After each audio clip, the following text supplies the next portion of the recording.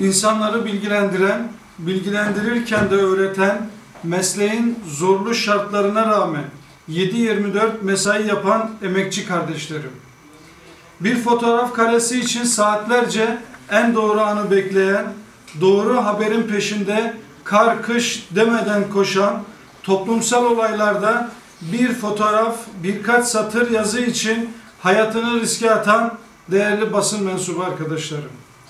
İlkeli ve objektif habercilik anlayışıyla görev yapan, toplumun bilinçlenmesi ve gelişmesi için çalışan, en zor koşullarda bile halkın ve kanunun menfaatini gözeten basınımızın 10 Ocak Çalışan Gazeteciler Günü'nü kutlar, başarılar dilerim.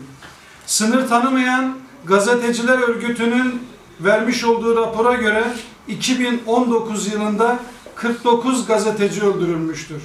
Bunlardan 31 tanesi direktmen hedef alınarak öldürülmüş, 18 gazeteci ise çatışmalar arasında kalarak hayatını kaybetmiştir.